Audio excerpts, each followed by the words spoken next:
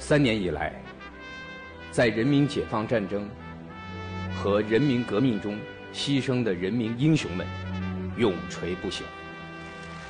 三十年以来，在人民解放战争和人民革命中牺牲的人民英雄们永垂不朽。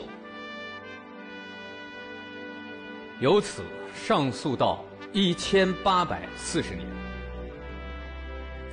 从那时起，为了反对内外敌人，争取民族独立和人民自由幸福，在历次斗争中牺牲的。人民英雄们永垂不朽。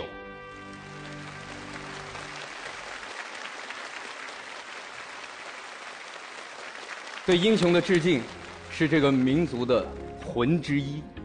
所以，我想说起民族魂，让我们永远不要忘了这些为了我们今天所有这一切抛头颅洒热血的人。当然，在今天。那些在和平年代里，所有为了这个国家和民族不断前行、仍然在默默努力的人，让我们永远跟随这些英雄的背影向前进。